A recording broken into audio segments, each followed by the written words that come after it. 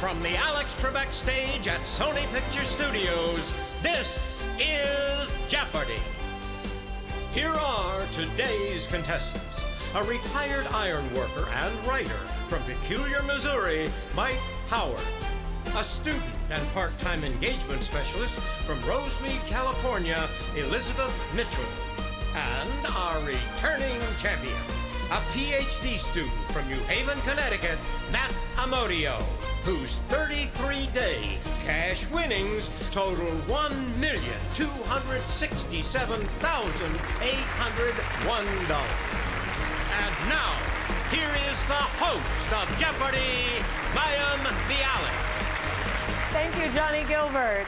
Welcome to Jeopardy and welcome to week eight of Matt Amodio's record breaking run. On Friday's show, with his 33rd win, he became the second winningest contestant in Jeopardy history, behind only Ken Jennings. We are so happy to welcome Elizabeth and Mike to the game. Good luck to all three of you. Let's kick off the Jeopardy round with these categories. Four letter book titles. Baseball Hall of Famers by initials. Inconceivable.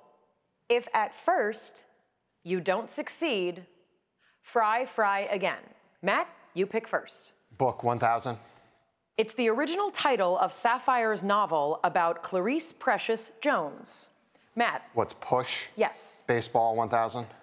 He took a big lead and slid into the Hall of Fame in 2009. RH. Matt. What's Henderson? That's right. Inconceivable 1000. Riddle named Nazi enciphering machine. Matt. What's Enigma? Correct. Succeed 1000. In 2004, the line of succession changed in this country when King Abdullah II dubbed his half brother Hamza ex heir apparent. Matt. What's Jordan? Yes. First 1000. As leader of Poland from 1956 to 1970, Vladislaw Gomulka held this Communist Party title. Mike. What is premier? No. Matt. What's first secretary? Correct. It's got uh, the word first in it. Fry Fry 1000. This ovoid appetizer with a nationality in its name is enclosed in sausage and breadcrumbs. Elizabeth. What are Rocky Mountain oysters? No. Oh. What is Scotch egg? Matt. Book 800. Named for a music genre, this Toni Morrison novel involves a Harlem love triangle. Matt. What's jazz? Yes. Uh, baseball 8. Spectacular Southpaw, SK. Matt. What's Koufax? The great Sandy Koufax, yes. First 800. There's a daily double right off the bat. You have 6,600. Both Elizabeth and Mike are in the red. How much would you like to wager? 6,600, please. A true daily double. Here's your clue. Primus inter pares is Latin for this, the member of a power sharing group with a little more juice than the rest. What's first among equals? That is correct. Takes you to 13,200. Pick again. Inconceivable, eight. A six foot unit of nautical measurement is within this word, meaning impossible to understand. Matt. What's unfathomable? Yes. Succeed, eight. Joyce Mujuru was set to succeed Robert Mugabe as leader of this African nation, but got dismissed as vice president in 2014. Matt. What's Zimbabwe? Correct. Fry, eight. This long Mexican fritter is deep fried, cinnamon coated, and all delicious. Matt. What's churro? Yes. Uh, book, six. Coming between night and day, it's the middle title in Elie Wiesel's acclaimed trilogy. Mike. What is Twilight? No. Matt. What's noon? No. What is dawn? Matt. Baseball, six. Class of 2020, DJ. Elizabeth. Who is Derek Jeter? That's him. Um, if at first for 200. This covers the right of the people to petition the government for a redress of grievances. Matt. What's First Amendment? That is correct, and that will take us to our first commercial break. We'll be back right after this to say hello to our contestants.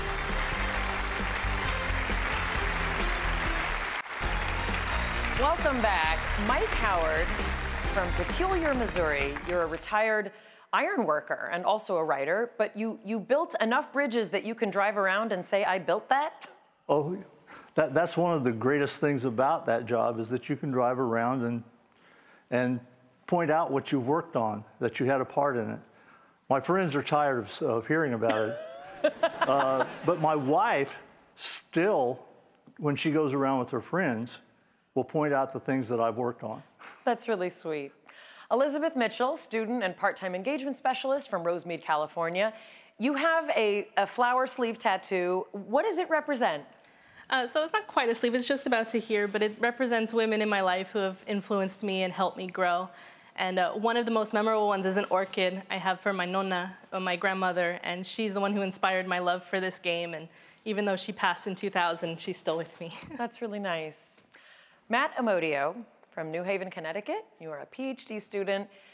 You were invited to join a bar trivia team by another Yale student at the Jeopardy audition? That's a lot of things coming together at once. Yeah, I drove up to Boston for my Jeopardy audition. Somebody else there said he went to Yale. We talked afterwards. He invited me onto his bar trivia team, and I just hope I've been a valuable member of the team. Maybe you should have him tattooed on your shoulder. That's right. Matt, your pick. Inconceivable Six. Bewitched, Bothered, and Perplexed wasn't quite the right song title, so folks went with this synonym. Matt. What's uh, bewildered? Yes. First Six. Two word term describing an EMT who goes to a crisis area to provide immediate assistance. Elizabeth. What is a first responder? Yes, that gets you to 200. Uh, if at first for 400? Sounds like bad grammar, but me is an objective singular pronoun of this linguistic form. Matt. What's first person? Correct. Succeed Six. In 1978, Giovanni Benelli was said to be a favorite twice to be the successor in this job, but did not have the votes. Matt. What's Pope? That's right. Fry Six. Aw share, Acadians graced Louisiana with this sugar-covered fried treat, whose name comes from French for fritter. Matt. What's beignet? Yes. Uh, books Four. In chapter one of this book, a great fish severs a woman's femoral artery, the blood now a beacon clear and true. What is Jaws? Matt, pick again. Baseball Four. Look at numbers like 7,356 innings pitched and you'll see why. Matt. What's young? Cy Young, yes. Inconceivable Four. Add a Y to this four letter word for gloom or a dark mist, and you get a word for hard to understand. What is murk? Matt. Succeed for. In a 1998 floor speech, Bob Livingston stunned colleagues by saying he would not succeed Newt Gingrich in this job. Matt. What's Speaker of the House? Correct. Fry for. Shrimp and vegetables are popular fillings for this battered and deep fried Japanese dish. Elizabeth. What is tempura? That's it. Fry fry again 200? Stick with it. This fried favorite made its debut at the 1942 Texas State Fair. Matt. What's corn dog? Yes, a combination of two delicious things. Baseball too? Made the last of 21 straight All Star teams in 1975, H.A. Mike. Who is Hank Aaron? That's him. Uh, inconceivable 200. Crossword, jigsaw, Sudoku, all are a real this. Mike. What's a puzzle? Correct. You don't succeed 200. Killing a man was one good reason this vice president did not succeed his boss Jefferson. Later, he got busted for treason. Matt. What's Burr? Yes, this is the last clue. This 1981 novel is named for a sick 200 pound St. Bernard in Maine. Mike. Who's, what is Cujo? That's correct. Mike, things are looking up. You've gotten three of the last four correct. Let's keep that going. You'll pick first in Double Jeopardy right after this.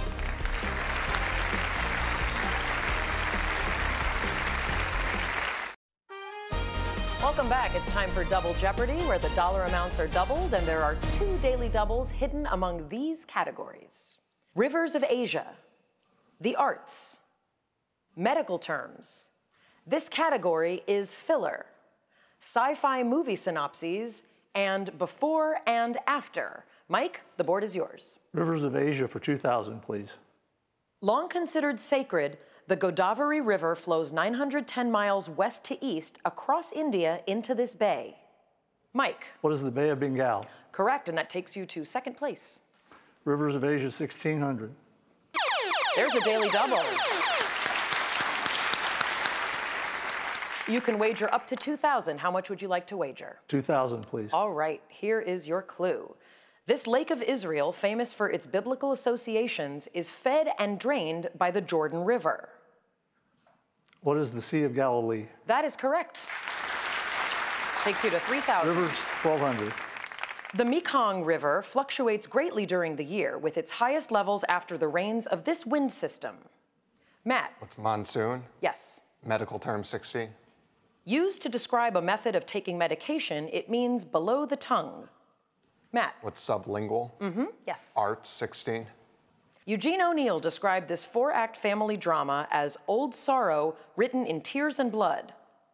Matt, What's long day's journey into night? that's right. Uh, medical 12.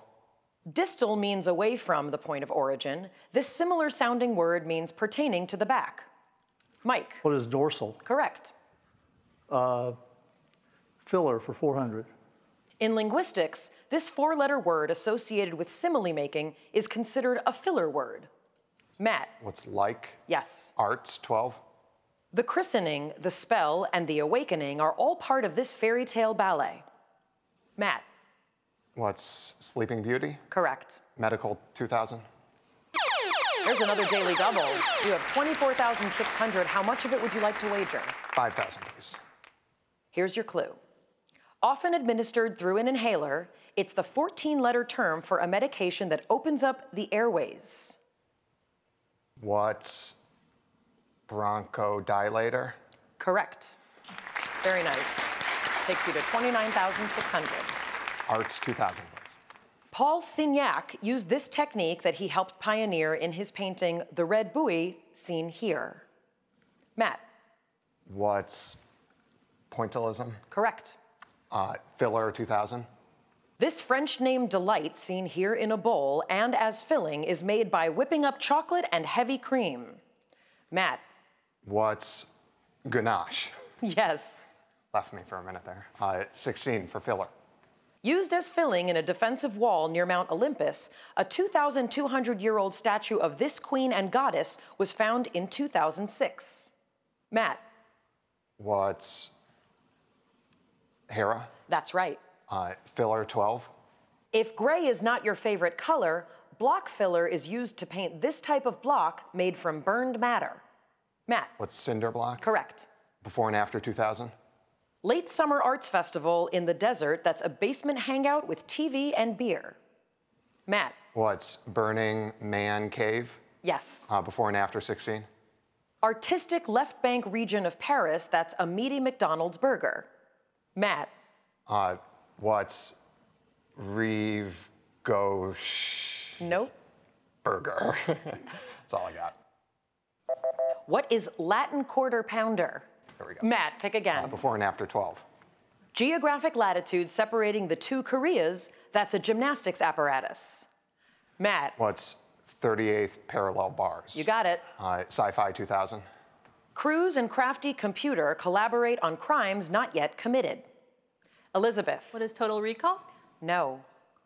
Matt, What's Minority Report? that's it. Uh, Sci-Fi 16. Aging actors assume anterior aspects. Alan aids admiring aliens against annihilation.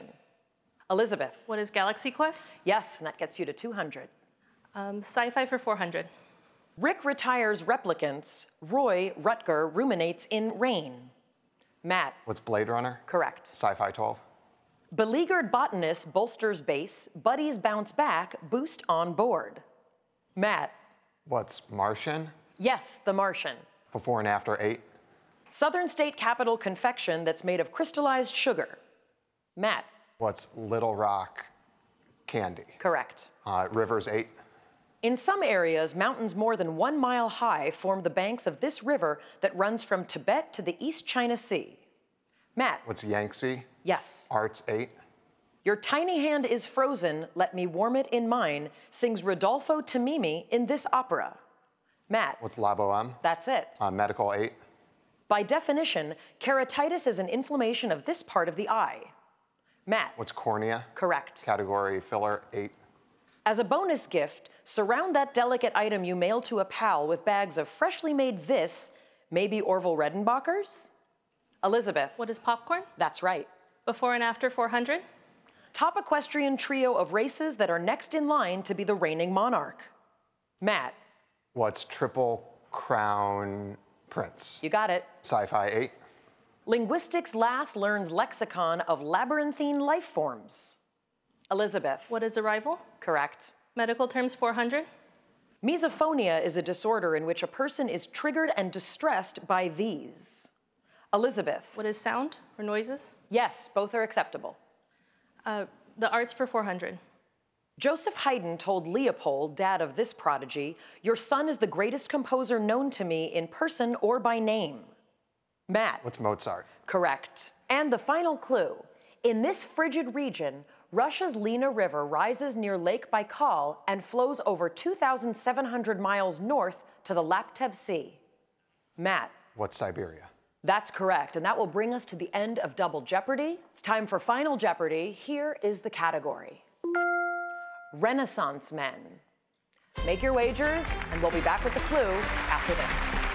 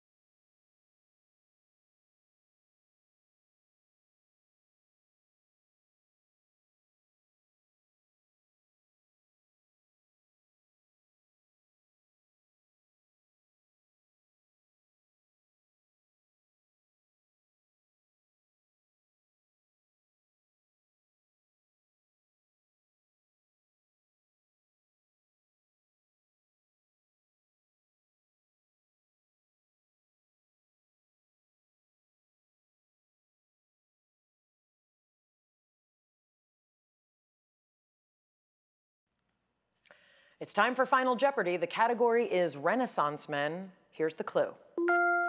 Ten years before a more famous work, he wrote in 1503 that the way to deal with rebels is to placate them or eliminate them.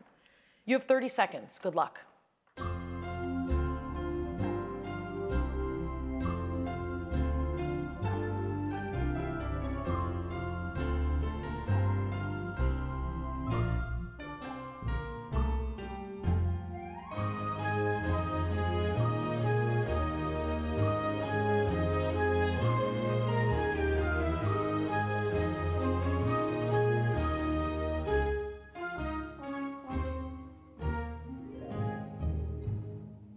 Elizabeth Mitchell, you went into Final Jeopardy with 2,200. What was your response? Who is Voltaire? Unfortunately, that is not correct. How much is that going to cost you? 2,000. That'll bring you down to $200. We'll move on to Mike Howard. What did you come up with? Machiavelli is correct. We'll accept that spelling. Laid the groundwork for the ideas in his 1513 treatise, The Prince. What are we going to add to your score? $201. All right. That leaves you 4,401. And now to our champ, Matt Amodio. Did you come up with Machiavelli? Who is Machiavelli? We already know you're our Jeopardy champion. The question is, how much did you wager? $37,000. Well, Matt, that gives you $83,000. This is your single biggest payday of your run. And you now have a 34 day total of $1,350,801. Congratulations. What a huge day. What a great way to start the week. Thank you, and we will see you tomorrow.